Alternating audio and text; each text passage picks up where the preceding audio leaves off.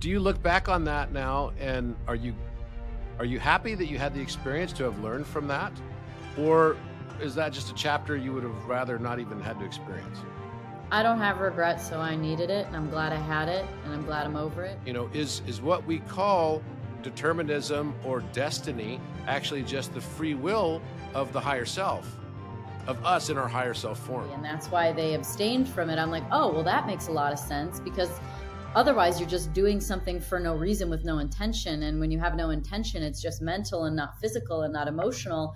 One day I realized much later in life that I had to add an E in between the C and the T and make it facet.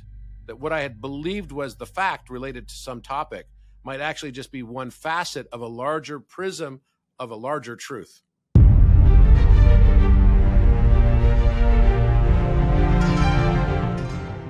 Danica Patrick. Wow. The famous and incredible Danica Patrick. It is so great. What a pleasure to have you here on this podcast. And I'm just so excited to uh, to see you. And I love your yellow sweater that you're wearing too. It's sort of got this kind of like matchy thing going on with my light blue. Well, you know, in the quantum field, we we we orchestrated that. That you know what? That's I guess that's what they say when they say, "Did you guys like dress together in the dark or something like that?" You know, it's one of those type deals, I guess. But great to see you. And uh, how's the weather there in Arizona today? No, it's finally sunny. I know we had to have a redo of this because there was a storm that came through and my router went out. Um, but it's back to sunny, cold but sunny. awesome. Good to have you. So, you know, I've been curious as the moment I found out that you were doing this podcast, your own podcast, and you've done so many of them now. How many have you done now? You've done, gosh, We're getting towards 200. 200. 200. So, what was it that got you into that? And if you could kind of give me the background story of how you went from like incredible race car driver that everybody knew, tell me how you got into this whole sort of physics, uh, mathematics interest, uh, life and consciousness orientation. You know, what happened? How, how did you go from being the race car driver that everyone knew to being who you are now? Well, first and foremost, you have to be comfortable being who you are, but you also have to have space for that. And so I just never really had space to show this, these these interests in this side of me when I was racing. I mean, it was like, you know, how was the car? You have five minute interviews, seven minute interviews, sometimes 30 seconds. Um, so, and you were, you were promoting your sponsors and you were talking about what was happening on track. So there wasn't really a lot of space for this kind of interest to be made, to be, to be revealed or made known. Um, but my, my interest in esoteric knowledge and um, curiosity of the occult is tracks all the way back to when I was a kid. Like I've always been interested in astrology and psychics and you know even religion. I always remembered asking a lot of questions and i i was i was i didn't it wasn't that i didn't believe it. It was just that i had so many questions and curiosities and maybe there was a side of me that was trying to poke holes in it but i was really vetting it out to see like what was true and what was not. Like for instance the mm-hmm. The the whole don't eat meat during lent thing i remember wondering about that because way back in the day i got confirmed catholic when i got married so like i went through catechism classes and all the things um and i remember asking about that and someone said it was Is it is it is it cataclysm or catechism? it should be the first. Cataclysm, yeah.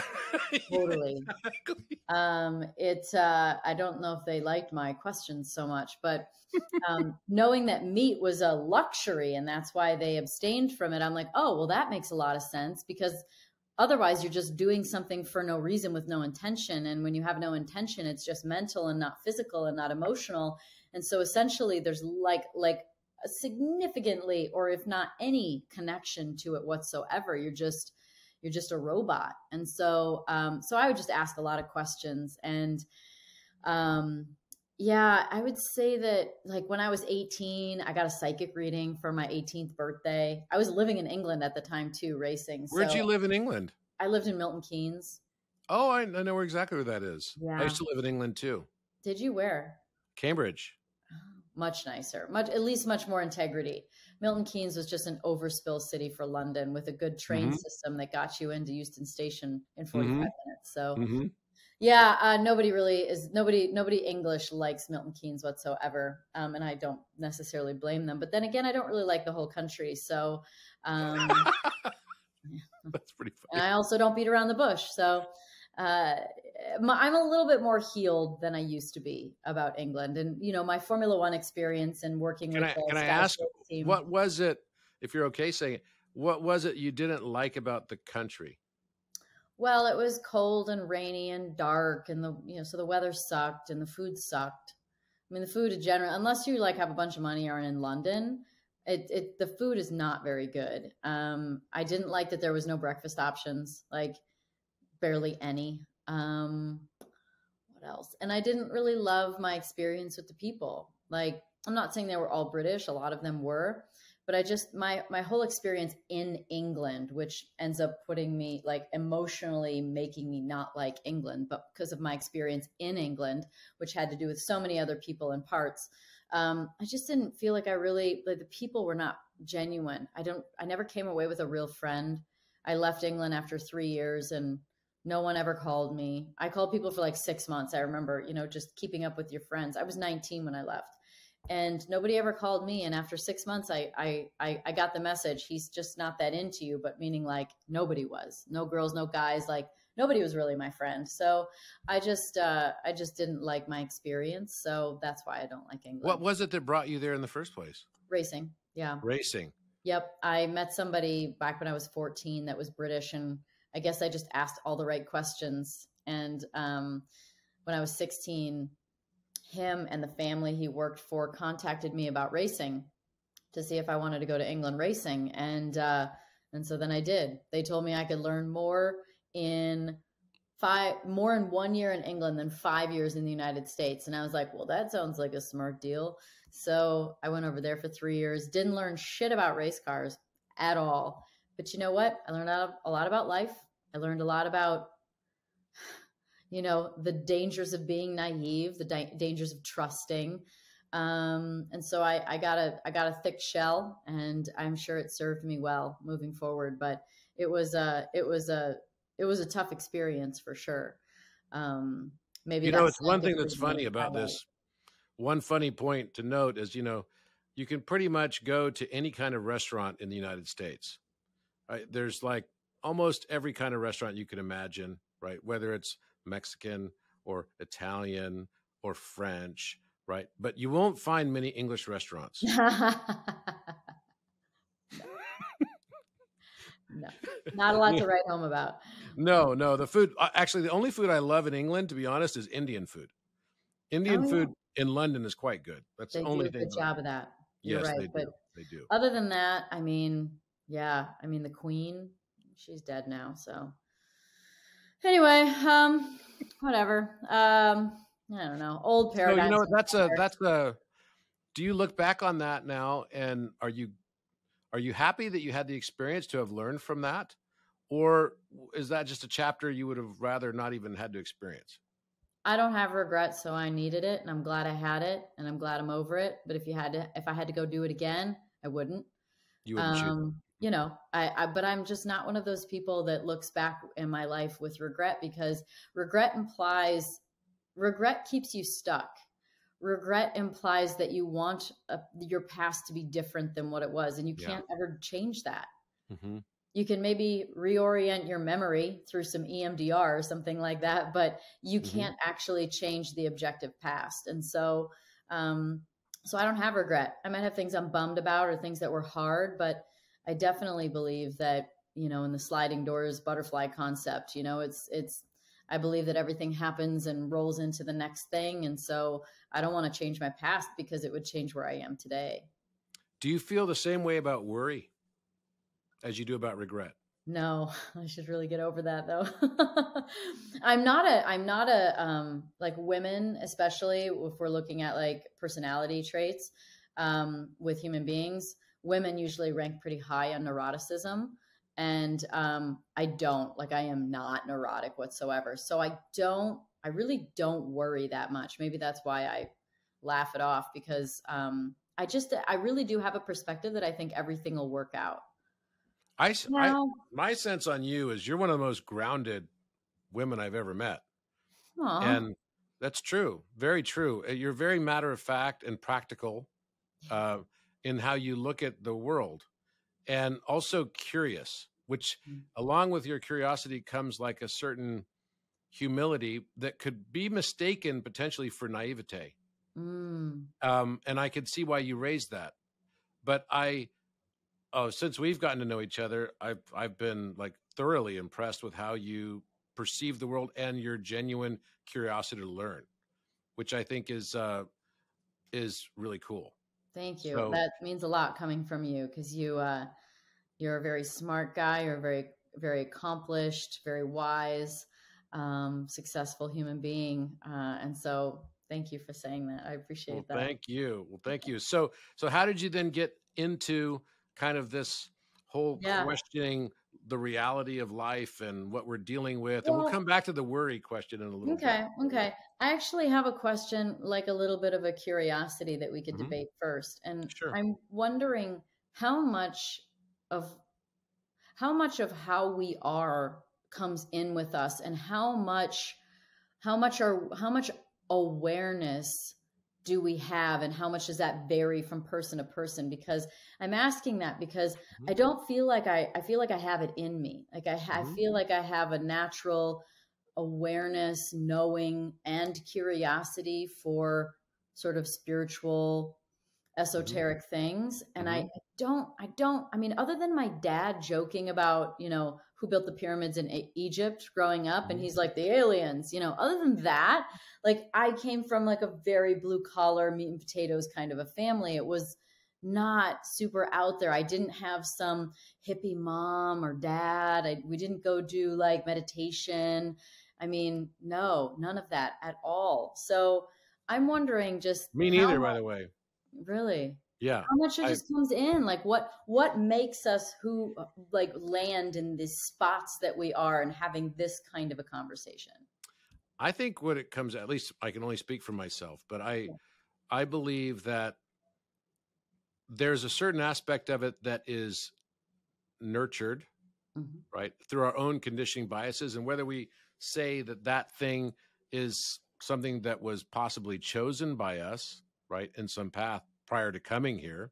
Uh, I, I, I actually kind of tend to believe that more than anything else. That even the experiences themselves are chosen by us in the form of a higher self, mm-hmm. and that everything is so perfectly tied together.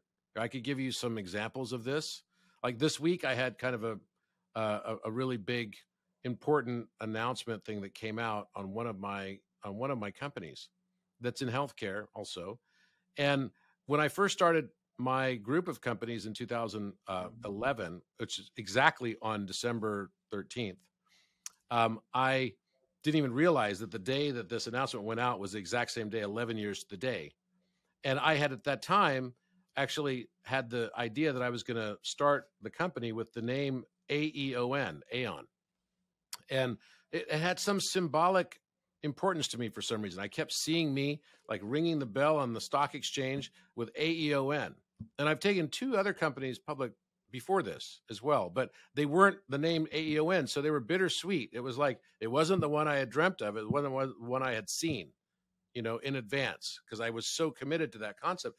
And I looked up the name AEON, and you know, it means it, it and one of the meanings it can have is I am. It also means God, right? Mm. It has a significance. So it's a Greek word for God. For time is another uh, meaning for aeon, like an aeon of time eons of um, time. Eons of time. It's from the same root. Um, mm. uh, even Carl Jung wrote a book called Aion. Aion with an I, which is the same word. It's just you know a different Greek spelling for it, but it's the same exact meaning of the word. And the word had significance in the reverse as well, because Greek words have meanings both directions. So Noe, which would be aeon backwards, is from noetics, basically cognitive sciences. So I think is Noe, and I am is Aeon. I think, therefore I am. So I thought that's kind of a cool name to come up with. Uh, back when I first had this idea, I looked up if there were other companies that already had the name, and there were. There was a company in healthcare that had the name, so I had to give up and abandon that as an idea. Well, along the way, that company ended up getting sold and was gone, and and so I was able to found another company in 2018 called AEON, and now that is going to be listed on the stock exchange under the name AEON. Now, it, it went through a very circuitous journey to get there, but the exact vision of what I saw is likely to come in the near future now. And and so I have to ask the question, right? It's like how much of that was it just that idea that I committed to is why it ended up that way? I honestly I don't know. But the the fact that it had to go through so many different iterations along the way and then ended up exactly as I'd seen in the beginning kind of leads me to believe that it was kind of known and predetermined from the beginning. Very and, good question. Free will versus and, determinism. Yeah, and so maybe, and like we talked about this on the podcast we did before, you know, is is what we call determinism or destiny actually just the free will of the higher self, of us in our higher self form. And when you think about timelines, time. and you think about time space realities and if you know if or because i mean i don't know if we can know this for sure but if everything exists simultaneously then everything is now. It's right there.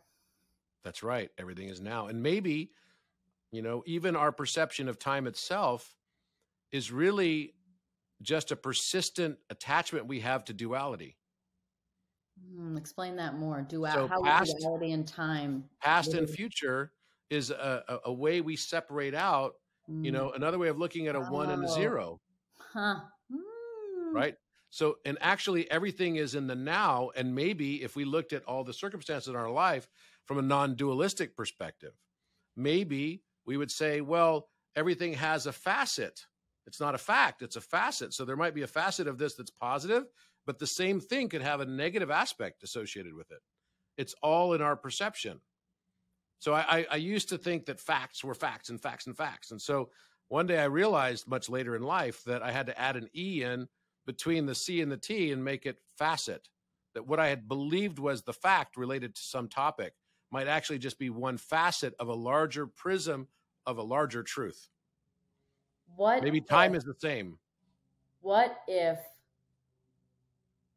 what we are considering to be linear here is just our consciousness i guess you have to give that sort of a mm-hmm. solid sort mm-hmm. of like you know perspective what if it is just dancing in timelines yeah and so you saw it you hopped a little timeline mm-hmm. maybe we stay sort of close within sort of our range but what if it's not past and future it's just our hopping of timelines and choices lining us up with a vertical stack of all things happening simultaneously.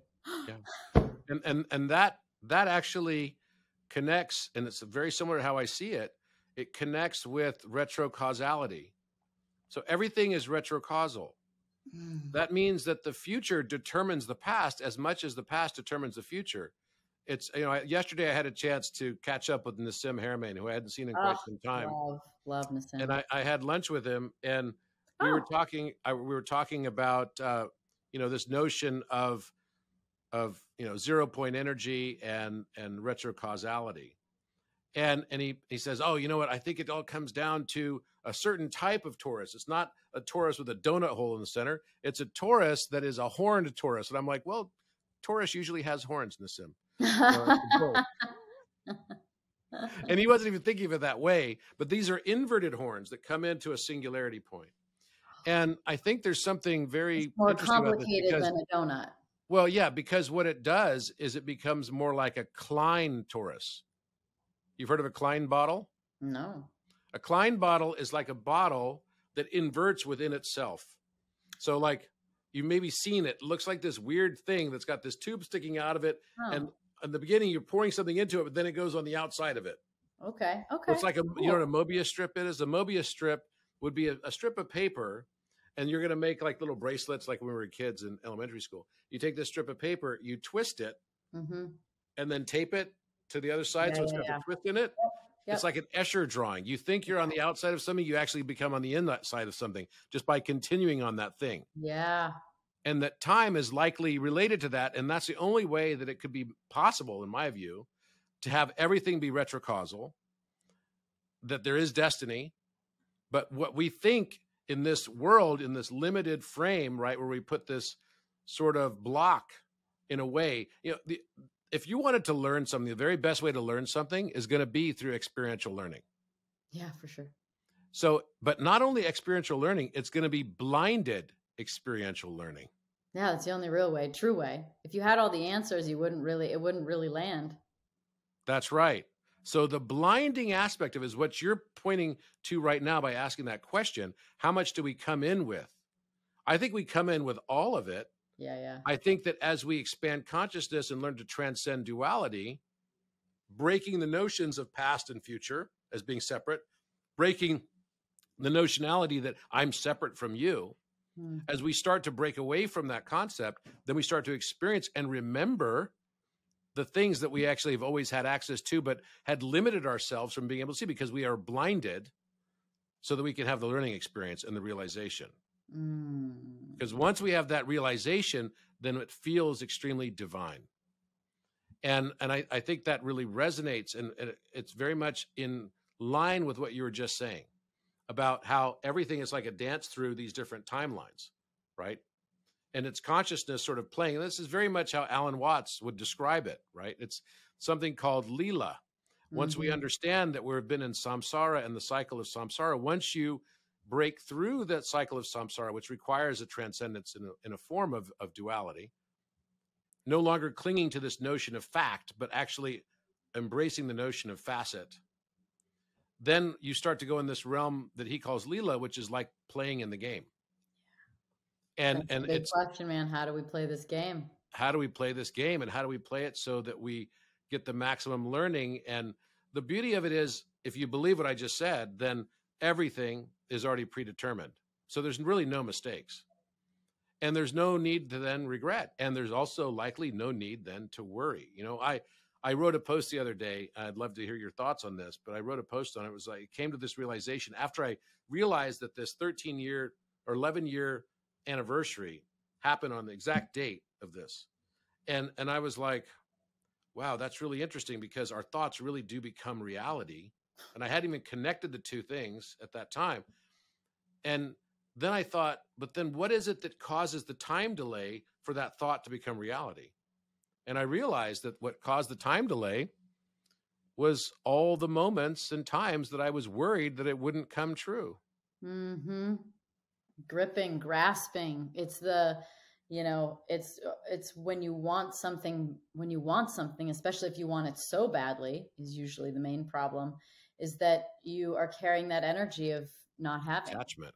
Yeah, attachment, and your and the energy is also I don't have it. When you Therefore, the universe so repels it from you. Exactly, it's like at least a moot point, right? Mm-hmm. And so, as you know, maybe you or people listening will think of these scenarios after I give this concept. But when you have something that you think of that you don't really care about. You're like, oh man, oh yeah, totally, I'd love to go there. Or, oh, that'd be fun to do that. Or, oh, you know, I'd like to meet that person. And then you just kind of forget or let go because it's really not that important to you. And then all of a sudden it, it makes its way into your reality and you're like, oh, cool. I was totally just talking about this. I'm so glad. And it's because you don't like you let it go. So, you know, being able to detach is, you know, I think it's a real challenge for sure. And, you know, I, I'm I'm very curious what is innate and sort of fixed within this experience of being a human. And if there are just things as being a human that like i'm thinking like we can evolve and grow and what happens when we go into fifth dimensional reality what happens when we go into unity consciousness. Does that mean we're human anymore? I don't really know but at least in this game that we're playing as we know it right now what are the things what things are fixed within this experience that you can't you have you just have to deal with whether it be duality or whatever we were just talking about. You know, it's interesting you say that because I tend to see it. I'd love to hear your thoughts back on this, but I tend mm-hmm. to see it as we call ourselves human beings, but until now, um, we've really been human doings. Yeah. Mm-hmm. And I believe that there's a future ahead of us that is truly an evolved human being. Mm. That it's not only about toil and work and you know consumerism and adding to our portfolio and all of these things, but actually just being comfortable in the authentic beingness of who we are. It's the I amness, and I I fundamentally believe that that's what we're evolving towards, and that's why we've chosen this exact circumstance. You know, with all this dystopian kind of backdrop, and that everything has to remain in balance. So as we raise our consciousness, that there will be an equal opposite reaction right? So the backdrop becomes darker so the light can shine brighter. You know, I like to you know, put a beautiful diamond in front of a black velvet piece of cloth so that I can see the facets of the diamond more clearly and the light refraction off of it and diffraction. And without that black background, it just doesn't look as brilliant. And I think it's the same thing with how consciousness works. Hmm. That there are varying degrees of backdrop. The light needs the dark in order for it to shine its brightest. Mm-hmm. And and it's just part of the nature of the universe. It's just like all these movies that have basically been, you know, in the public uh, sort of pop uh, culture for the last 20, 30 years. You know, you have like Lord of the Rings, which every time they introduce a new concept of magic, Mm. or even Game of Thrones, there's always some like orc that has to show up in the picture, right? There's got to be some sort of like evil, dark warlord type of thing, and they Yeah. come together. You know, you yeah, Luke Skywalker is going to show up uh, around the time that you're going to start learning about Darth Vader, right? It's like this absolute battle in a way until you realize that it's symbiotic. The two actually require each other. And I think Mm. that's what humanity is starting to learn through. Yeah. it's- Nassim, it's you just loop. talked to him yesterday. That's the Mhm. feedback loop. It's the feedback loop. Exactly. you have to, if you don't have information like yes and no, positive, negative, if you don't have that feedback loop, how do you have any kind of growth, evolution, or progress? Now I get a little compli I guess when you throw in the uh, the idea of entropy and things going towards more chaos, that I'm not sure how that fits in, but at least from Nassim's perspective, and you know, under you know, with the idea of making progress and growing, you need a feedback loop, and the positive and negative, and the light and the dark is part of that feedback loop. Yeah, absolutely. And I I believe fundamentally that as you increase entropy, right, there has to be a, an equal opposite reaction of syntropy, which is negentropy or the opposite of entropy. So I look at the universe um, as like a, you know, we talk about Big Bang. I'm not really a fan of Big Bang theory. I believe it's inhalation and exhalation happening simultaneously. So I you can think of it as a mirror of consciousness. I just interviewed a girl. She goes by The Alchemist on Instagram and um, YouTube. Uh, Sarah is her name.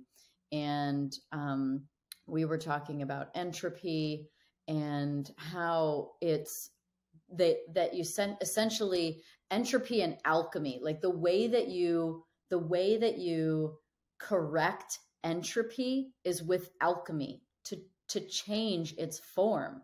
So what I thought of when you said that is that as entropy continues, Mhm. just like you know, we can look at this on all levels, right? This is, I mean, I do believe the universe is fractal. Um, Me too. if we're like, let's say there's a problem here um, within the with, w- within your relationship, or whether there's a problem politically, or whether there's a problem culturally, you go in and you try and fix it. So you go in with alchemy. So the more chaos there is, the more alchemy is coming in to Yes. fix it. So Yes. that's almost the balancing act to entropy is alchemy. Yes. Well, and you could think of it like this as well. Yeah, you could say alchemy and syntropy are kind of in the same bucket, right? Yeah. Um, and syntropy is just a word that was sort of coined by uh, Buckminster Fuller. Mm. But you know, negentropy is kind of the more scientific term for the same thing. It's just the opposite of of entropy. Mhm. But you know, we don't even have a real way to measure entropy. To be honest, we we say we do scientifically, but I mean, I make a random number generator. We the way we measure entropy is really just another way of looking at uniform distribution. In other words, what comes to you from a numerical perspective, you could say space time would be like a string of numbers, too. That's another way of looking at it. Um, you would have no more ability to predict the very next digit that came at you than the last one. It's completely uniform. So there'd be an equal number of ones, an equal number of twos, an equal number of threes, an equal number of fours, fives and sixes, sevens, eights, and nines. But if I grabbed a book, so if I grab this book right here and I were to count the number of times the number one shows up, you would think it would be kind of random, right?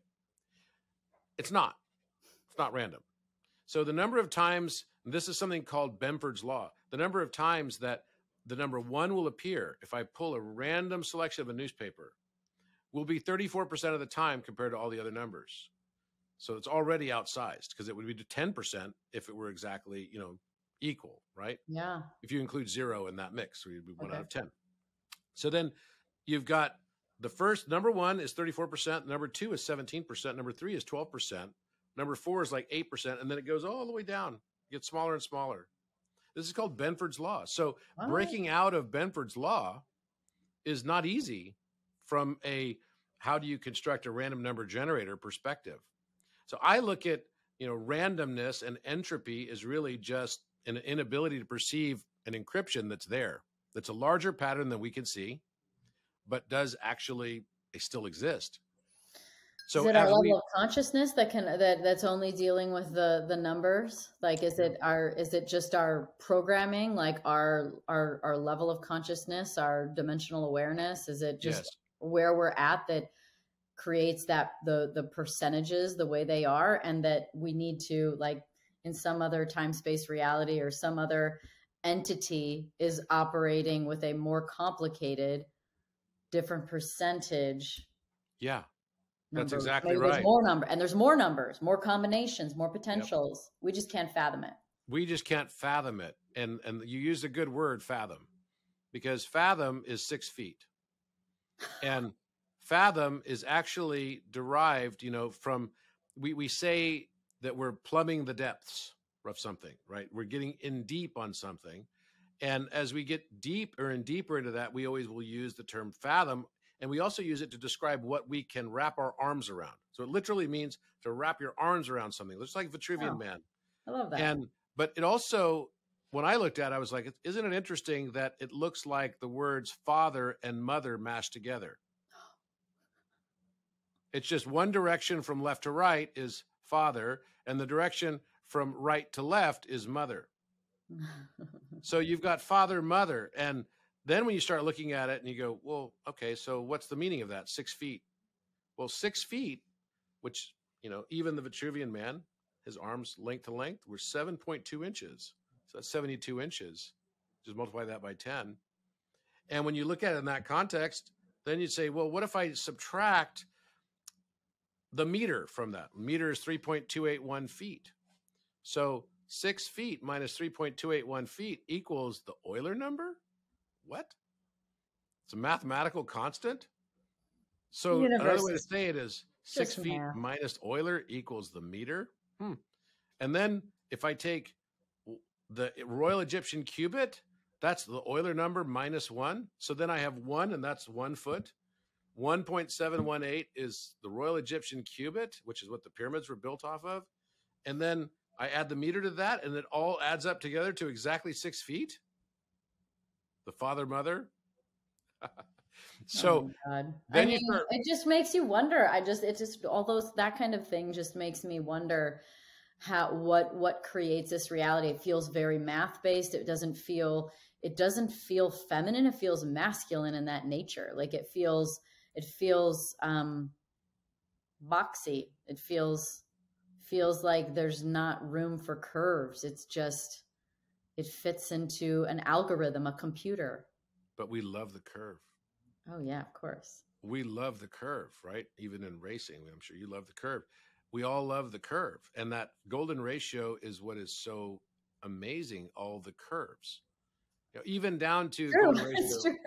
It's actually the curve that it's is the, the, symbol for you the know, math. And, and, we use the what term the like, hell? life threw a curveball at me.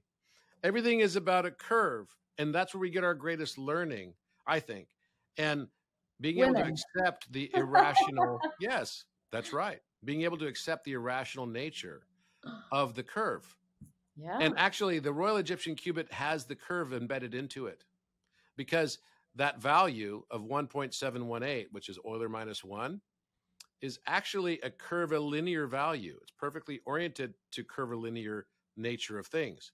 Why? Because it in meters it's equal to 0.5236 meters which is pi over 6 pi is irrational. Pi over 6 so just take one pizza and cut it into six slices that are equal. And one of the slices arc will be the cubit and by the way if i make that pizza guess how exactly long the radius of that pizza will be one meter so a pizza cut into six slices will have an arc for each slice that is pi over six meters, right, or 1.718 feet, and will have a radius of exactly one meter. And if I take an exact pendulum that is one meter in length and I swing it exactly 30 degrees of arc, it will take precisely one second to traverse each direction of that 30 degrees of arc that is the Royal Egyptian cubit Why do things fit into a framework like this? because they're planned and it's because it's a matrix and this consciousness reality is a matrix, Yeah. or the entire universe is a matrix, or at least the the knowable universe that we're i believe it's a you know after you interviewed uh, donald hoffman right? And and i spent a lot of time with him since then as well in part thanks to you. Um basically it was a pretty interesting discussion we had and and you know, i'm going to have him on my podcast as well but his comment to you about the latest nobel prize actually proving that local realism is false uh was is very very powerful. Yeah, I mean, it's a different reality. In my opinion, that proof that that being out there now, it just literally it's like it's like it's like the impetus to a new paradigm. It has to be. It is entire yeah, because now what does that impact? So after I watched the podcast with you, and uh, and then I had the chance to even before I watched that podcast, I had the chance to have dinner with Donald, um, and then I spent four hours in my office with him last week, which was amazing. So cool. But the thing that is interesting about it to me is is I couldn't think. I started by thinking, what are all the things that this changes about our existence? Yeah, exactly. And I had to flip it very quickly to what are the things this doesn't change? Okay, what'd you come up with? very few things. Right. Like literally, it changes everything. Think about it. Biology is based on physics. I mean, you could start with mathematics. Applied mathematics is geometry. Applied geometry is physics. Applied physics is chemistry. Applied chemistry is biology. What if we prove our bodies are not there while we sleep because our consciousness is not on it? And if nobody's observing it, even our biological body might not be there. What if that happens? That's uh I think we could definitely have a trip out discussion on some mushrooms with that one. Um, yeah, it's like the same question of if I'm not observing the moon and no one else is, is it even there? And that's what Donald was saying straight up. He's like, look, if you're not, if no one's observing something, then it is, it doesn't hold a position. And then you asked, what does it mean to not hold a position? It means it's not there. So that means that your entire body is also not necessarily there. Unless Which we're would make observing it. sense based on you going into dream dream time, dreamland, right?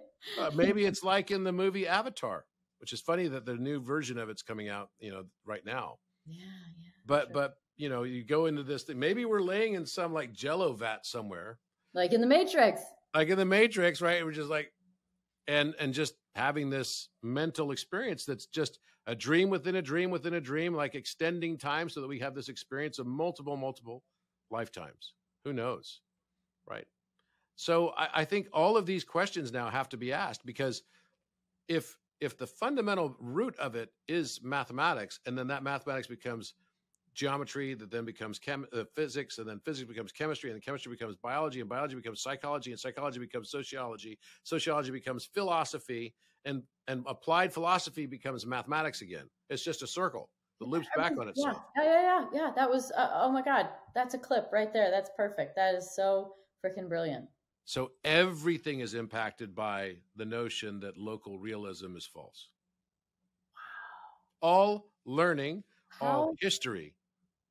How would you okay, I think there's a difference between knowing, well, I know there's a difference between knowing and embodying and feeling. Like the idea that this house is not here or this table or microphone or whatever is not here unless observed is something I can't embody yet. But let's still use the mind in this land. If that being true, how would you or will you live your life different? I think I would live, my, and I've been asking myself this question a lot for the last few weeks because I think the the first conclusions I came to is why worry about anything? Okay. Why stress about things? There's kind of because no point. it's not there because yeah, and and by the way, the things that you're stressing about, you're only creating more inertia and impediment to you actually getting those things. Right. Like like your company that you didn't get for a while. That's right. That's exactly right. So how much of maybe if I I mean I think everything is predetermined, but what it does now is makes me question how long it should take to achieve things. Because when yep. I realize that I'm actually the source of the impediments to achievement. Yep. now when you get out of the way, and everybody i'm sure you saw this and i'm sure you saw this in race car driving right it's always we are always our own worst enemies yeah totally. It's it's always a mental game and that's true in you know like single player sports or multiplayer sports or multiplayer game environments. We're always our own worst enemies. It's the people that in, in tennis you know it's like they call it unforced errors. Yeah. And these are errors that weren't really something that you should have had. It, it was just you making your own mistake because you sort of lost your mental uh, your strength of, of mental fortitude of this is what i can do. This is what i'm going to achieve. So now it makes me really question okay the entire nature of reality and my thoughts really can become reality and the only thing that slows those thoughts down from becoming reality are my own thoughts. So the only thing that is the only obstacles that become real in this world it's not somebody else's fault it's mine. It's it's what i wanted to learn what i wanted to experience and i wanted to have a blinded experiential learning. So what's the reframe? How do you get yourself out of the way? What's the reframe? So i think awareness of it is nine tenths of it.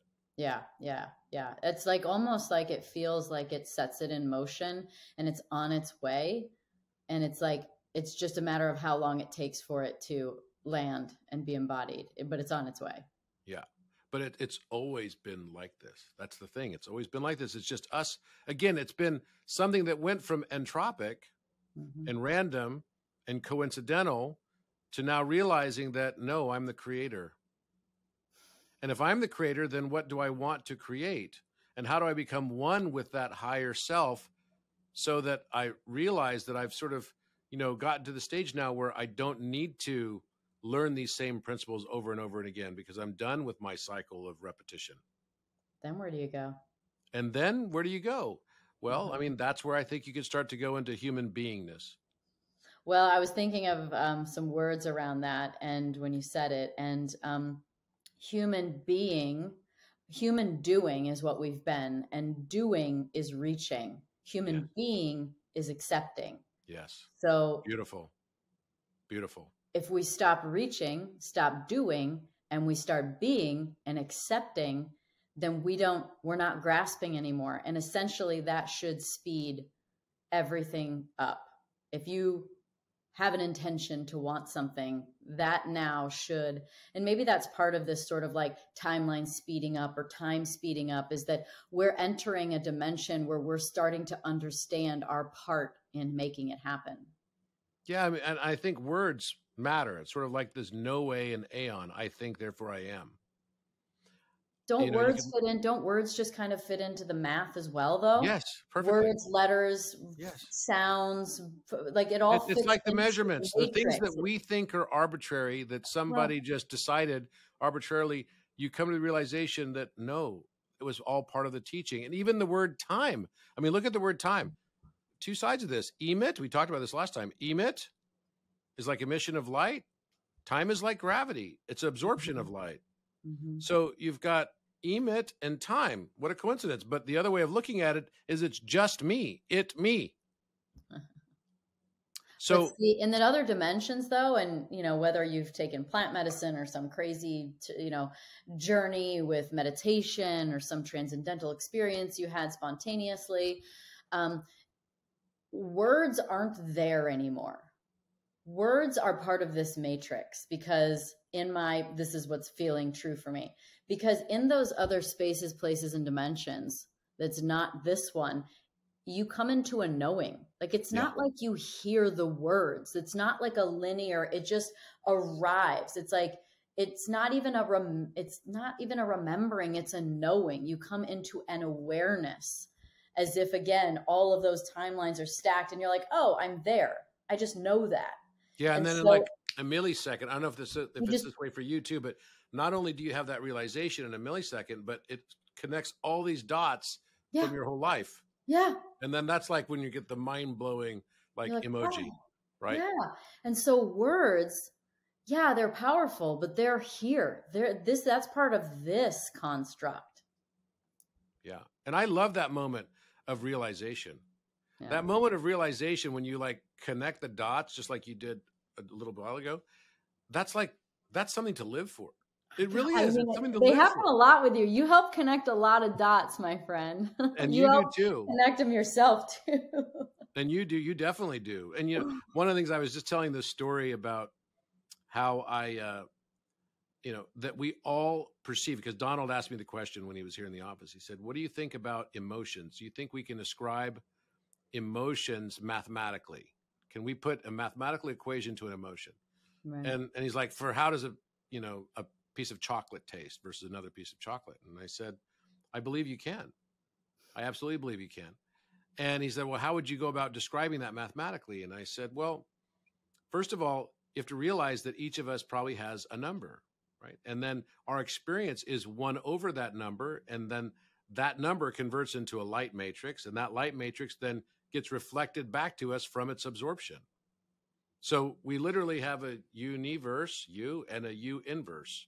That's the world that you're living in. That's your pattern of repetition. And along with that would be your set conditioning biases, the patterns that you have over and over again because you take a one over a number and it has a long period cycle of a repeating value that just keeps repeating infinitely. Mm. It's not irrational. So that means then that the experiences that we have cannot be looked at other than through a subjective lens. And I'll give you an example of this. I was at this uh, restaurant in Chicago in 2007. Mm-hmm. And it was called Charlie Trotter's. It was like a famous oh, yeah. restaurant. Yeah, it's a famous. They're not open anymore. Yep, he died too. he died, and I liked the restaurant. So I was there one night with a friend of mine named Vance Thompson, who is the owner of Jessup Winery in uh, Napa. Mm-hmm. And um, he's a great guy. And we had two other people with us, and they had this competition and they often had this, and they would come around with the sommelier would come around with a bottle of wine, and he'd have a towel wrapped around this bottle of wine, and he said, if you can guess the appellation, right, oh and God. the vintage of this so wine, fun. I love doing that. If you can guess this, then your dinner's free here at Charlie Trotter, which is like, That's okay, so cool, fun. and we, and you get your picture on the wall, and and of course they're going around and nobody gets this, and but I had spent a summer learning la dégustation in France in Bordeaux. So I, I had a little bit of an advantage. So I'm like, okay, bring it. And I'm not even a big wine drinker. I just wanted to learn the concept of wine tasting. So I did, and I learned all the different aspects of it and everything over a summer when I was in grad school. Well, he goes to the first guy, the one that owned Jessup, and he says, you know, pours it for him. And Vance is like swishing the wine and he smells it. He's like, I'm sure it smells like a Malbec. This is a Malbec. He's like, it's Argentine. And then, you know, the next person tries, they're like, Uh, I see this. It's more like a Chianti to me. It's got like an Italian aspect to it. Well, there's a very distinct smell of a wine cask in this in Bordeaux area. It's Mm. this particular white oak that they have. Hmm. And when he poured the wine for me and I smelled the bouquet, I was like, that smells just like Bordeaux. And I remember that smell very, very well. hmm And then I started using deductive and inductive kind of reasoning on this because I started Sure. thinking about it as I'm like, okay, well, this is Charlie Trotter's. There's only like 10 appellations That that show up from. in the United States. Yeah. So Saint-Émilion, Santa Staff, Saint Julien, Pomerol, right? All these different wines. And and and I'm like, none of those are expensive enough to be at Charlie Trotter, right? Pauillac. Yeah, Pauillac, Pauillac is also good, but still not expensive enough. What? And so I said, the only That's one where Rothschild comes from. yeah, the Rothschilds would also be very, very good. Yes, you could definitely have you could you know uh, uh, you could definitely have Rothschilds. The Rothschilds could be in the older vintages, definitely. But one of the Mhm. things I knew is that it was one of the newer vintages. How did I know? Well, because when you learn degustation, you take a sip of the wine, you swallow it, and then you see how long the taste remains in your mouth. Huh. And it, the number of seconds the taste remains in your mouth tells you the age of the wine. ha! That's fantastic. Math. Math, exactly. so I tasted it and it only had like a two second lingering aftertaste. So I'm like, it's only a couple years old. So it's got to be, you know, it's not going to be Mouton Roth Rothschild. It's not going to be one of the other ones. And I'm like, it's Chateau Margaux. And I said, it's 2005 Chateau Margaux, two year old vintage. And the guy was like, he took off the towel. He was like, oh my God, you were right. You were right. You're freaking blind pouring you Mouton. That's fantastic. Yes, it was, it was epic. That's And- so and so- so he basically blind pours this for me and i and i guessed it and, uh, and of course i got the dinner for free and every time i see this other guy that was there vance thompson he always tells the story. Mm-hmm. He's like i didn't know robert very well but then i realized the guy is freaking james bond because he pulled a blind pull on you know chateau margaux. Uh-huh. And it was something that was profoundly important to me not that i won that. The reason i wanted to learn this art of wine tasting was that I realized that every wine that I tasted tastes different because it is alchemizing with me. It's Mhm. not only the wine that is has its own distinct flavor. Each wine Yeah. tastes different to each individual That's because it mixes and alchemizes differently with the palate of that person. Totally. Your pH, everything. Everything about it, right? Everything Mhm. about it. So what we think is an objective experience and we Hmm. apply like wine scores to something right you know it's a Mm. 100 point or 95 point or Mm. whatever Still, is, is entirely subjective Yeah. every single thing is subjective because we cannot remove our conditioning biases from that I just had a conversation with this girl Sarah about that Mm-hmm. subjective and objective reality. Mhm. And what and I said I really question whether or not there's actually such thing as an objective reality given the fact that we all see things through our own lens. And I use the example of you know, if there's a car crash, four different people watch the car Yeah, crash. They have no totally. reason to tell a different story. They all tell different stories. There's, and they all are trying to do their best. And even in that scenario, they can't tell four of the same stories. So, what is, so is it possible to really have objective truth? And she said, the camera can see it.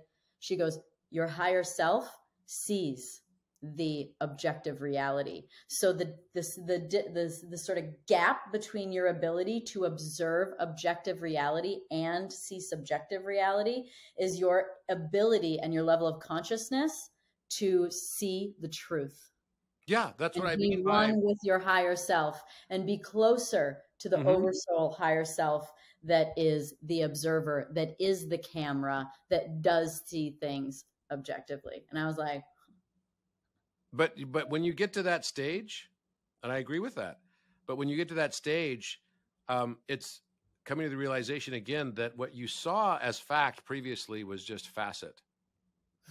Okay. Because Okay. the sum of all of those potential facets becomes the whole truth. And in that context i think that's what she means by the objective reality. So i'll give you another story that's kind of interesting i did a podcast with uh, with lawrence krauss who's a famous physicist who uh-huh.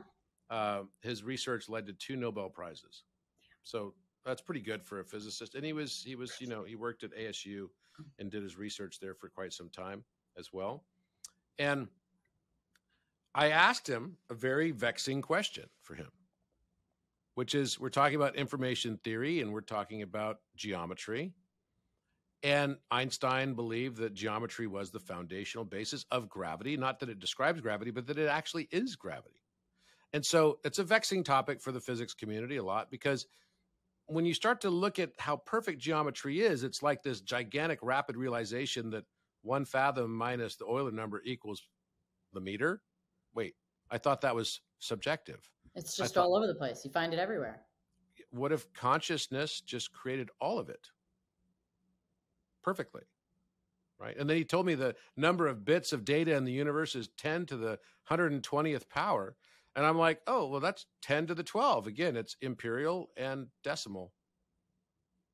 Because 120th, again, is just 10, 12 times 10, right? That's all that is. So you've got imperial and decimal. That's what our DNA is based off of.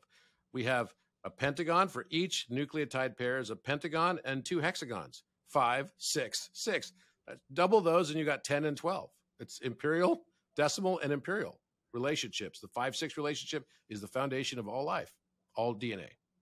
And when I asked him the question about geometry, I could tell he was vexed by the question because it's not an easy answer. Who created geometry? Where'd it come from? And he basically, you know, was like feeling uncomfortable, and immediately his dog started barking like mad in the background. Hmm. Like he had like several dogs, and I don't know where they were. They sounded like small dogs, like yappers, and they're like, and he goes, my dogs don't like the concept of geometry. and I'm thinking, he's thinking this is justification for him not answering the question of what is geometry.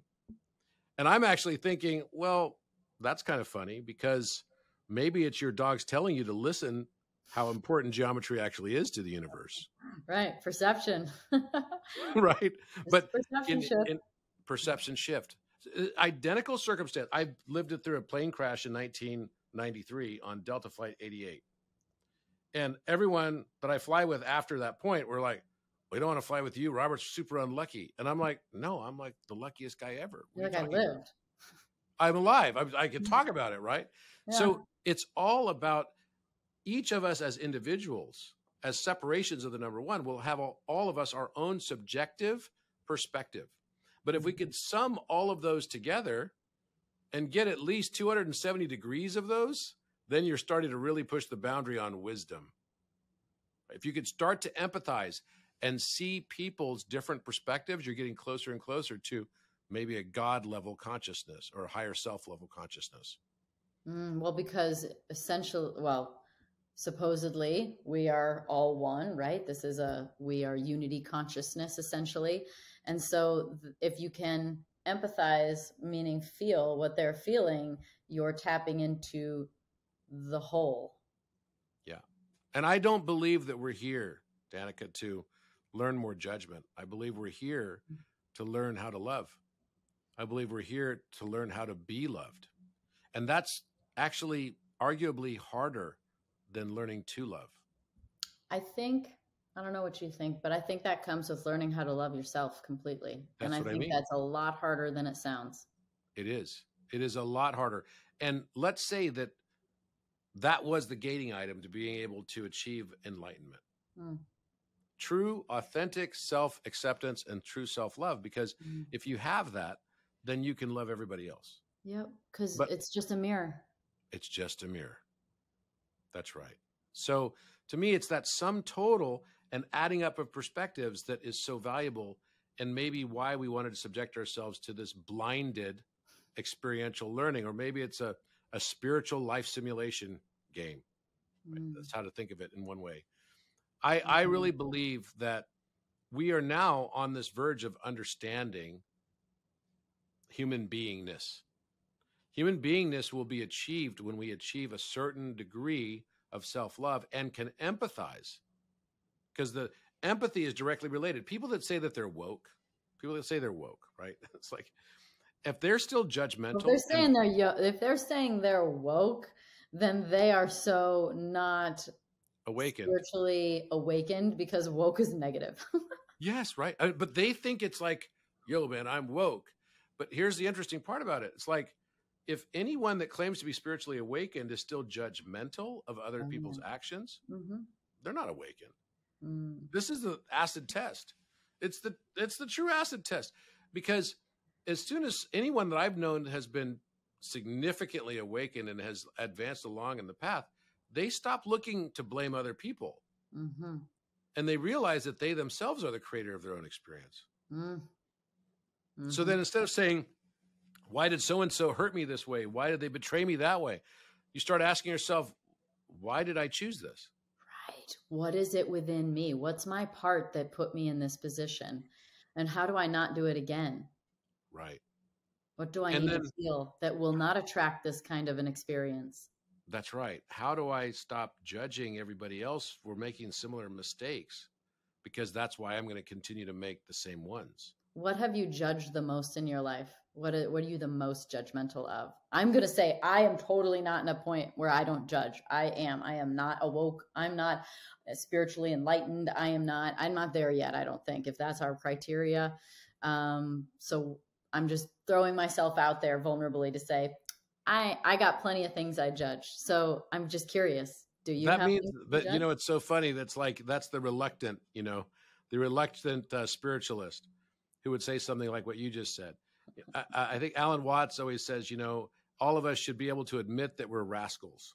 rascals absolutely totally it's actually like yeah and funny enough he actually says like you should that's that's a good thing to be able to say you're a rascal Yeah, the only people you should be afraid of are the people that say they're totally good, yeah exactly because those are the ones that are going to probably do some of the worst things without even knowing that they're doing it because they're not even conscious of it.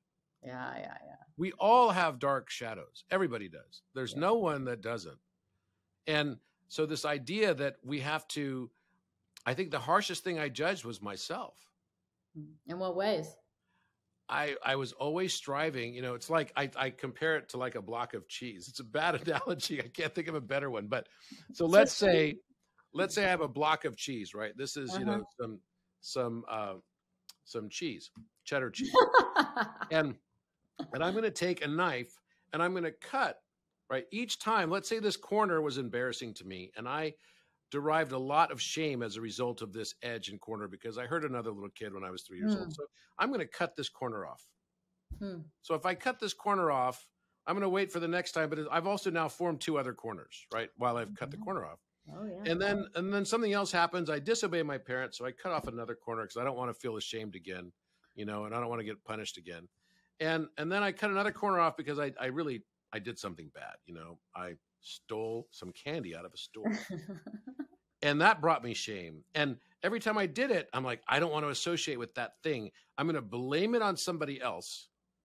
I'm going to say it's just like even in the garden of eden right? Adam and eve god comes and says well, adam what are you doing? It's like oh the woman that thou gavest me and commanded i remain with her she gave me of the fruit of the tree of knowledge of good and evil which by the way is duality and i did eat yeah and then eve what hast thou done oh the serpent beguiled me and I did eat. The first thing we want to do whenever we feel shame is blame someone else, right? So I'm going to cut off another edge. I keep cutting off edges until at 45 years old, I'm a Hmm. thin pillar of cheese. And all the rest of it I've pushed off of me and I've said, I want nothing to do with these things. That's not who I am. I am good. I don't do anything wrong. Right? I keep striving for for for excellence in the pursuit of of you know even better happiness and yet everything feels very very empty and yes while i achieve some degree of fleeting success it's not really lasting success because i feel like i'm caught on some crazy hamster wheel and where does it ever end and everyone around me should be striving in the same way that i have why can't they just strive and become this single pillar of cheese and then at a certain point you go through a crisis and that crisis then makes you realize that all this stuff that I'd cut off from me and separated from myself is me. And the only solution is to learn to accept all those things were me from the very beginning.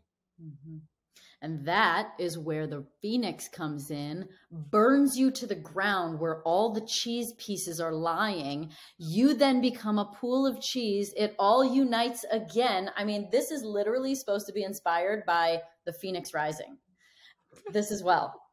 and then you become the pool of cheese, reorganized, alchemized back into your back into itself again. Start over. Yeah, and so it's funny because I remember uh, when whole. I was really studying whole alchemy, cheese.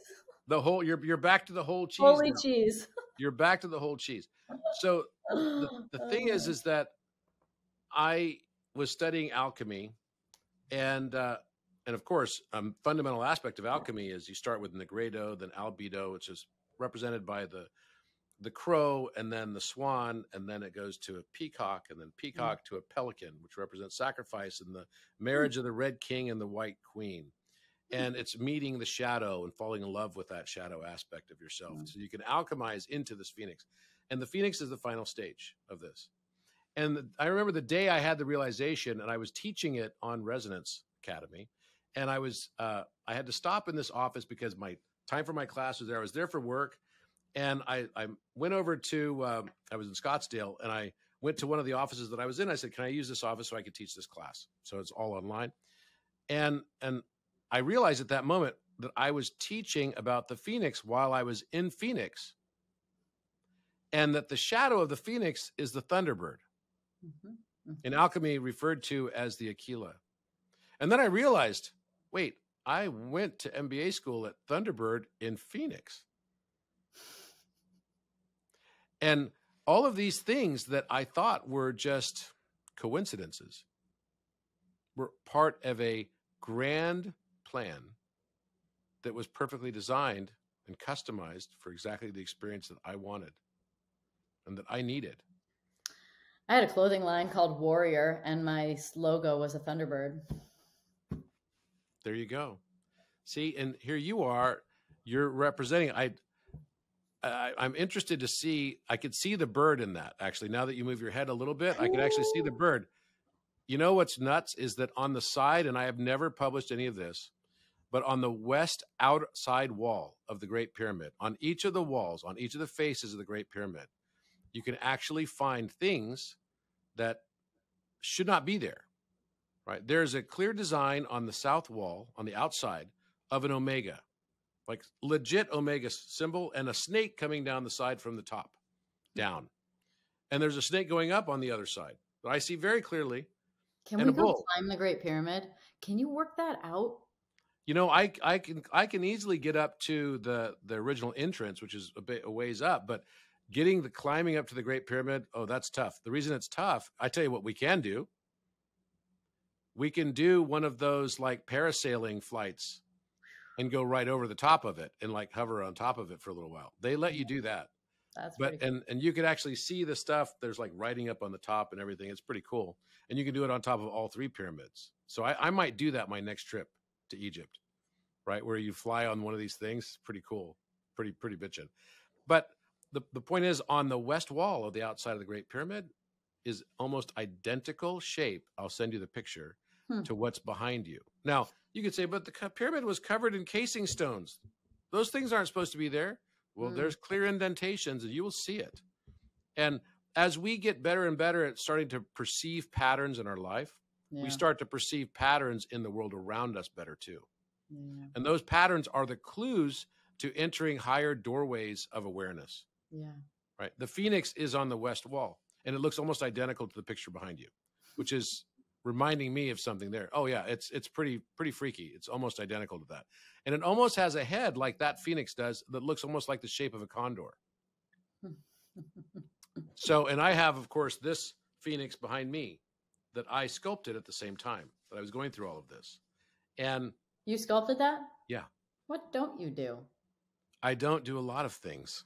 I don't do a lot of things but I, I do sculpt and I, I like that because for me that was like a form of metallurgy of alchemy you know you don't have to turn lead into gold you just have to understand that lead is the stuff that we've been judging negatively that can be transmuted into the gold of our new higher awareness oh yeah oh sure i see yeah like what makes gold the What makes gold the good one? Exactly. Perception. It's all perception. You see, I think about that all the time. I see like granite rocks and marble and things like that when you're hiking, and I'm just like, you know. Or then you think of a diamond, and you or you see a you know a an opal versus uh you know um, clear quartz, and I'm like, who decided certain things were going to be so valuable? well, diamonds, you know that story, right? Diamonds, Yeah, De Um, Beers. De Beers, right? And it's funny because the word De Beer is a very important word that represented the Holy of Holies in Solomon's temple. Hmm. The Dibarim is what it's called, the Divarim. It's the Holy of Holies, it's the altar. And it Hmm. means the word or the truth. The truth. Now, the truth about De Beers, which is kind of funny, is that they have a cartel on diamonds to keep the price of diamonds artificially high. Yeah. They keep all of this high valuable diamond stuff in their inventory. Supply low, demand high. Yes. To hmm. keep the demand very, very high. It's what cartels always do. And I found it funny, funny that that is the truth. That what we think is scarce is not really scarce. I mean, you could look at every natural resource on the planet and you could say, well, what's the most important natural resource on the planet to life? Well, it's probably clean water, I would guess, right? Clean water. But wait, from space, we look like a blue dot because we're covered with water. Mm-hmm. And why do we have why do we have to pay for it can't yeah, we, i mean there's i mean when you're out in the ocean a submarine or a ship like they have they have like water purification like systems there's no lack of water That's right. I've I've spent the night on an aircraft carrier, and I can tell you, they make 50 million gallons of clean water every day yeah on an aircraft carrier from Yeah. seawater. yeah So this yeah. is it's all a bunch of bullshit It's a bunch of bullshit. So what happens is you take the water and you put it in a bottle, and it becomes now a unit of scarcity, a unit of separation. The same is true for energy. Energy is all around us. One hydrogen atom could power the entire Earth for a thousand years. dude our hearts how much electromagnetic frequency comes off of our hearts Tons, tons. we have this thing called the SA node and the AV junction, right, right in the center of our hearts, and we have these bundles of nerves. I used to work in electrophysiology. That was I was started my career as a cardiac tech in electrophysiology, and it's incredible the electricity of the heart. And it all starts from the sodium potassium pump. It's a very simple essay, you know, kind of ND thing, and we can we can regulate it. We can regulate it. And then you know you have to be able to figure out how those pathways work so that the heart is in its proper function and you have the right ejection fraction. You have the right uh, you know you're, you're you're avoiding things like complete heart block and atrial fibrillations et cetera. But the point that i'm making is that everything that we perceive in this world around us is a subjective perception and so that can be played upon you start the construct in this blinded construct of duality. We start Mhm. the construct with what? with time. I've never my taken a experience test. was the mind when i was done when i was doing my hero's dose of mushrooms it was the mind the first construct i had to agree to to this reality was the mind the mind. the matrix the matrix. Yeah. So, well, think about the backdrop though. We take a test. The first thing that puts pressure on taking the test is the time clock that's on it, okay sure right? So immediately we're thinking, I'm running out of time. sure But even that is not true. Even that's not true. So wait, and energy and time have a one over X relationship to each other. So you hmm. could say that dollar bills are units of scarcity themselves to pay us for our usage of time. mm-hmm sure So we have water that is the most abundant resource on the planet. We have energy that is literally infinite all around us. We have, and we believe that energy goes through wires. It doesn't. It's an electromagnetic field. There's a great video on Veritasium around this. The electrons aren't traveling through those wires that we have. No, this was a again a concerted effort to make everyone believe that it's all scarce. It's not scarce at all. yeah It's not scarce. Tesla knew this too. yeah So then you say, well, time surely must be scarce. No, not really, because what if the whole notion that we die at all is an illusion? Which seems to be pretty true. So we just keep going through these different cycles until we learn to break out of these cycles. We learn to overcome these things that we've been told are impossible. Mm-hmm. That's why my next book is called Polymath. And it's about using geometry as a meditative practice to achieve a higher state of conscious awareness and enlightenment. And by approaching those problems that in ge- geometry were intended to be always sold as impossible, squaring the circle, trisecting the angle, making polygons that are Fermat primes, uh, that without any measurement for any of these, and doubling a cube. All of these are the impossible problems of geometry, which have all now been solved. And the solutions for these are actually in the book and doing it all without any measurement whatsoever. For me, that was a threshold to cross into a higher level of belief system to realize that it's not impossible, but I'm possible. And this is where I think the world is going through this shift. Back to your beginning question, you know, it's like, are we evolving? And I believe we are. So the question I have for you, as you've been on this path and you've interviewed all these people in 200 interviews and everything, if you could summarize what you have learned through all of this, what has been the big takeaway for you? And of course, I know it's probably an evolutionary thing. I'm yeah. sure you're learning things all the time. Yeah. This, this, is a big commitment you made to a journey, right? Yeah. And mm-hmm. and how many years? How many years have you been doing it for now? those 200 um, three three years three or four years i started in 19 so you've basically gotten a phd in many many areas now of certainly of podcasting but also of learning and listening to alternative viewpoints and perspectives totally yeah so what effect has it had on you mm.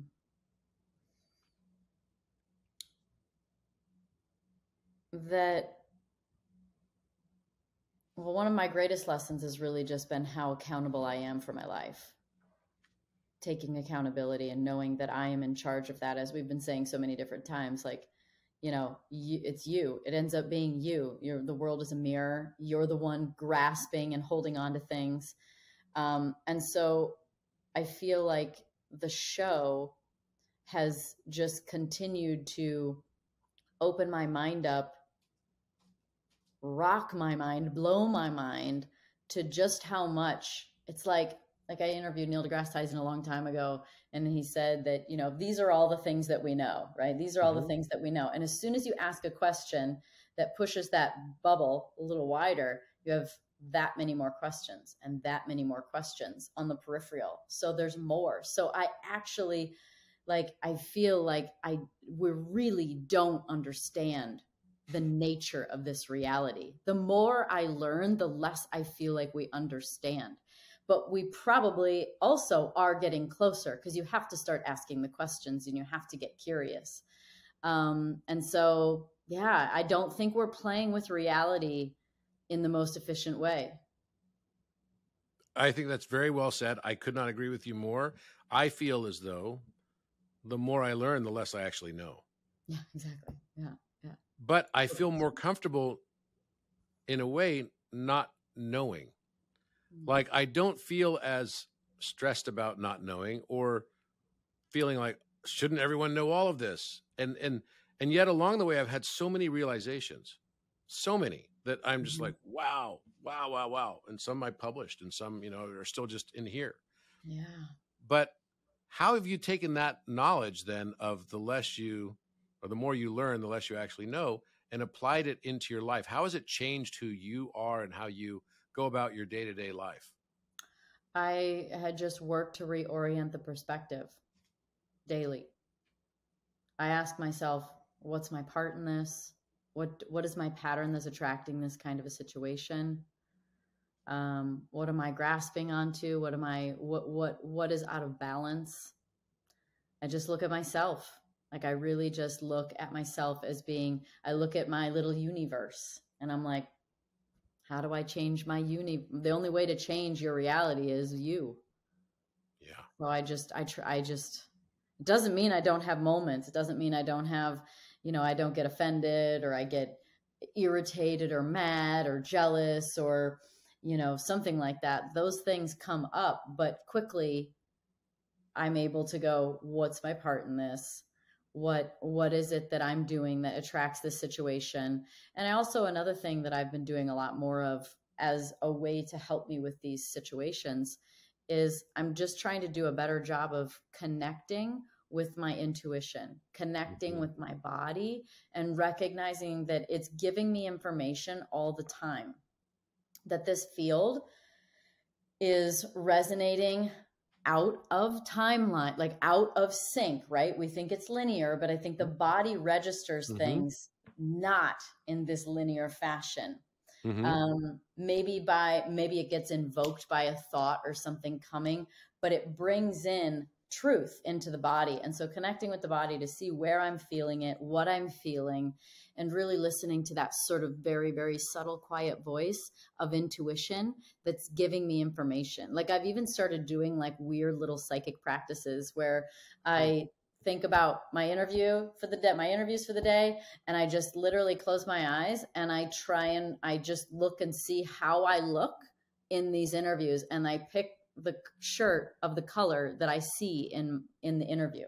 Really? That's, that's, like I, that's how I've been. How you got the really really cool yellow one there today? Yeah, I just saw myself in yellow, and I was like, no long sleeve yellow. I don't have one. No, not one short sleeve. I was like, oh, I have a little yellow sweater, and I didn't do any. I didn't try anything else. I just grabbed it, and so I I just like little subtleties of just how can I connect with my intuition and my psychic capabilities that we all have, so that I can become really like I think that leads to so much more autonomy in life, which is just I it gets kind of complicated at times because life is a little complicated because we can't see ourselves just what's happening. So and so it's easier to not get offended. It's easier to not take things personally when i am oriented to my own energy so much stronger then i know that this has nothing to do with me but if I get out of, if I get messy with myself and if I lose touch with myself and my intuition and how I'm really feeling and how I'm doing, then I get easily sort of caught in, um, you know, negative emotions. Interesting.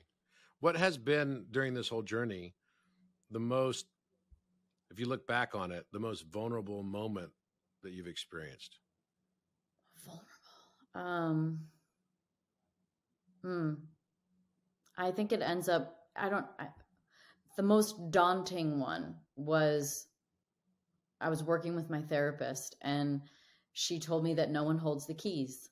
I kept trying to blame everyone for things or want apologies to make things right. And she's like, no one holds the keys. And I was like, oh, I was like, that means I have to do it all myself. Oh shit. You know, and I cried and I was like, oh my God. And it was sort of right then and there that my whole orientation with issues flipped. And I, as soon as that happened, then all of a sudden I didn't get triggered by things as easily. And ironically enough, the things that I wanted to change started changing on their own. It was like I freed up the energy for them or that too. So um, just you are the key. It's you. You are the universe. Universe inside you. It is your your perception, your reality, and you are in charge figure it out. So true. So true. So if you could give advice or perspective and or if you could do a push message to the entire world right now, like of one short mm-hmm. message, what mm-hmm. would it be? It's a funny little quote that I this is the first thing that came to mind. Um it's uh it's a sort of saying I came up with oh, not super long ago, but it's that your life is your fault and it immediately gives you like a negative impression it's that provocative. like, mm-hmm. like yeah exactly so it's it's it, you think oh screw you you know but then you have to vet the rest of it out which is that if you're happy with anything that's also your fault and so just knowing it's again reaffirming that that truth that you're in control of your life and your perception is what controls your reality and thoughts become things. The world is met, the universe is mental. This is a mental reality that we live in, that your mind is creating it. Thoughts become things, and your perception is your reality. The difference between excitement and fear is very, very small. It's a very fine line, and it's your perception that controls the reality. It's interesting. Do you feel like the other like materialism messages that have been more the traditional academic approaches to describing the universe are resonating less today among the larger population. Like when you say this story of mentalism and that mm-hmm. we have control over our reality and that, you know, it's kind of in the mindset of personal empowerment. Mm-hmm, mm-hmm. Do you feel that that message is resonating more and more amongst people? Or do you feel that it's more the older message of, you know, the, it's the universe is material? There are fixed I think laws. That there's a there's a rise of sort of the more the stoicism messages and the more philosophy based perspectives. Um, I think that are coming back around again, and uh, I don't know what kind of a horned loop we're in right now with this mm-hmm. information, but mm-hmm. it seems to be coming back around as um, sort of um, standards and um, their theories and philosophies to live by. Yeah. No, I, I would agree. I mean, I've noticed as well that some of the older messages, particularly whether they're academic orientation, you know, the orientation of it is academic or governmental or large institutional or even religious, that the message for some reason I'm feeling like is just becoming less and less um, compelling. Whereas 10 years ago, it was more compelling. Mm-hmm. Today, it's become less and less compelling. Mm-hmm. And I think that's a major shift in society, like major, major. And I notice it even with my unfollowing. I think that's why people are thinking, you got people like Elon Musk saying, well, you don't really need to go to college now. Right. That's awesome. And, I would agree with that. Yeah. Unless you want to be a doctor or a lawyer, and then you might want to get some education in there. I definitely want my doctor to know how to cut me open, but I think there's a lot of things that you don't have to. Yeah, I think I think there's some truth to that. I think I mean shit, I have a GED. Robert, I have a GED. Like I used to call myself stupid because it was easier for me to just throw it away and say, you know, oh, I'm not I'm not smart, you know. Um, and I finally had to stop saying that because my reality kept showing me that that wasn't the case. But look at that, I have a GED, you know. My so I have a question about that then. Oh, sure. So, as a beautiful woman did you feel when you would tell people that you were not smart, even though you definitely are, most definitely? Um, was that a reaction just because it was easier to say it, or was it that you felt like it would make other people also feel more comfortable? I or neither. something else altogether. Yep, neither. I I would rather me I don't want someone to make fun of me or think I'm stupid. I'd rather just go ahead and call it out from from the beginning instead of have somebody be like, hmm, "That's not real sharp." Uh, so instead of instead of that, I thought I just I just for me I just called it out and sort of it gave me an excuse to not know things too. And when did that shift for you? Because mm, you're definitely not that now. Well, you know. thanks. I, there's very simple things that you learn in school that I don't know. Um, and I am not very good at math at all. Like math is totally not my jam. Um, but, uh, you know, I remember there was one time I was walking on the beach in Malibu and this super smart guy who worked at CERN at the hydrogen or the collider. Mm-hmm. What is it called? The, yeah, the collider. Mm-hmm. the collider. Large Hadron Collider. Hadron Collider. Um, and he asked me, oh, where did you study? and I was like, I have a GED. And he was like, really? Like he was expecting me to come through with some brilliant academic accolade, some university of prestige. And, uh, and I think that, you know, it's moments like that. And that was about, um, that was about three or four years ago. But I'd say probably basically like pretty much kind of when I retired from racing is kind of when I started to realize that, you know, it was not appropriate for me to call myself stupid. Um, and I feel like I had a few people tell me I should stop saying that. And um, so, yeah, it's not been that long. I probably only eliminated that from my lexicon, um, like, uh, yeah, probably 2019 ish. Wow. Wow. Yeah. You've come a long way. you've come a long way. And now you're like, spitting quantum physics. no, I hope everybody understands. You're the one spitting that. I'm proposing concepts and ideas. That's how I feel like my mind actually works in quite a feminine way. Like, um, I've, I, you know, things have to sort of flow and take form and they like connect. And so I propose ideas and concepts and connect dots. But like when it comes to the actual math and the sort of that side of things, um, I leave it to you, good sir. So, do you? I have a, a, another question for you. Do you feel like you easily understand other women and where they're coming from, or is it easier for you to understand men and where they're coming from? Mm. It's a little vague, but I do understand men very well. I do. I do. I understand. I feel like I understand both pretty well. Um, like, give me a scenario. Okay, like so you've got two friends. Understanding, understanding emotions, yep. understanding. Yep. You've got you've got friends that are a couple, mm-hmm. and they're mm-hmm. going through difficult times. Mm-hmm. And you're listening to the feminine side of the argument mm-hmm. in your friend, and and you also know you know you you you know her well, and mm-hmm. you can empathize with exactly what she's going through and feeling. Or is it easier for you to understand? Also, if you knew the guy, equal level of knowing mm-hmm. um, easier to understand his perspective in what's mm-hmm. happening in the relationship. Yeah, that's true. I probably understand guys better. But basically, when you said that, what came through as being quite clear is that usually women's problems are emotional and men's problems are rational or circumstantial like they're much more they're they're like a thing like do this don't do that and women are like it makes me feel like this and so that's sort of like, I think usually where the issues come in is it's like, yeah, okay, that should be okay in theory, or like, that's no big deal. But it makes me feel like this over here as a girl. So I feel like that's sort of usually, and I do, I am very rational and I'm not super emotional. So it's firsthand learning that gives me the the skills in that category of being able to empathize because I don't take on people's emotions. I'm a firsthand learner with emotions, so unless I've actually gone through it, like you said, if I've actually been in someone's position, I can then have that uh, direct empathy for what they're going through. But otherwise, I just have a knowing. I, I just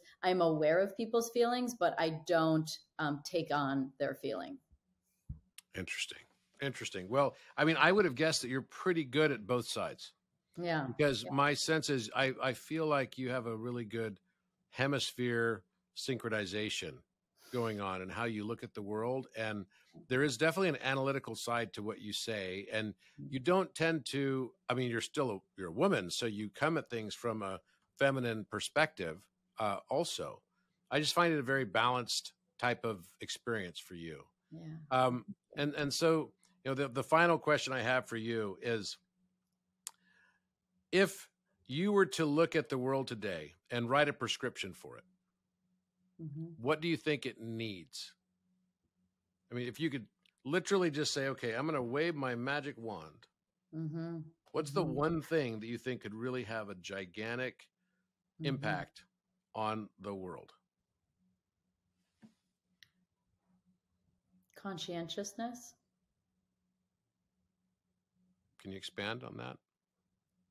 If you took things into consideration, if you understood the repercussions of whatever it was that you did and how it made someone feel, you'd think twice. Conscientiousness about how you make someone feel, conscienti- conscientiousness about how you're treating the planet and what might happen as a result of what you're doing to it. Um, conscientiousness about taking advantage of people. If you actually had a high level, if people could just be given a dose of a high level of conscientiousness, it would make them think twice before they did something that hurt other people, which ultimately hurts them. So true. Danica, such a pleasure to see you. That was I so definitely fun. I'm proud to call you my friend. And oh my God. I'm so proud to call you my friend. I mean, if you only knew how like great it was for me to just be able to kind of riff on quantum physics and the nature of reality with brilliant minds like yourself or you know any of the other other brilliant people i've come across like it truly like it's like a it's i i feel like this this show is really like very selfish for me that i do the podcast because i just meet people i'm fascinated with and i mean the the and it's and it's been a pretty pretty stellar lineup. So um, many. You had an amazing lineup. You really have. You had an amazing lineup, and keep doing what you're doing. Thanks. Keep Thanks. on your journey. I think you're on the path towards that enlightenment and getting all those different perspectives. Uh, it's exciting to watch, and it's not something I ever would have expected uh, from you going giving what I knew of you before, mm-hmm. which I was always very impressed by you and your accomplishments and everything. But it's just not something that was like, you know, you sort of say, okay, this is what this looks like, and this is what fits in with this thing, and and then all of a sudden Danica shows up with this completely out of left field. Oh wait, she's doing like a whole podcast series with like physicists and stuff. I mean, what is up with that right it's like you know hey you know i like to keep keep people on their toes but it's really just cool that i get to show that side of me i mean it just shows how like i really do feel like my career was very much um, a part of me being able to have a platform and a voice and the ability to have these conversations and be able to help in any way to uh, wake people up or um, connect dots with friends you know like that i feel like is uh, a very fun role for me and i feel like the that racing gave me this ability to to um, talk to the kinds of people like yourself that um, that i can play around with like this. Well thank you for being so amazing and for doing what you're doing and don't thank stop you. doing it. And i think you're having a huge impact on the world the likes of which is probably so much greater than what we could ever understand right now so thanks no, very we much. Can't tap into all those dimensions at one time now, can we? So no, know. we can't. Well, maybe, but not not yet. Maybe later, but then maybe there's no time. Oh, anyway, yeah, right. good seeing you, my friend. You too. Thank you. Thank you so much.